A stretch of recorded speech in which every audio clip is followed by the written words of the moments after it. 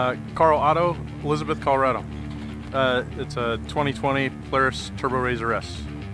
Actually, this is my second race. Second race. Yes, sir. What was your first race? Uh, we had just a local race down in Holyoke This year? Yep. a couple weeks ago. Uh, how'd you, what did you think of the track? It was really good. It was a lot of fun, a lot of turns, a lot of high speed. Should be a good time.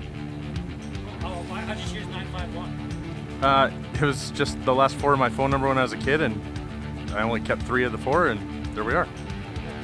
So the back is uh, L&D Fab.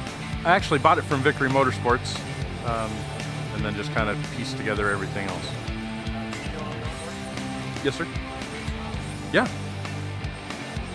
I got my wife, my twin daughters, and my son, and so they all come to every race, and we just have a big family deal.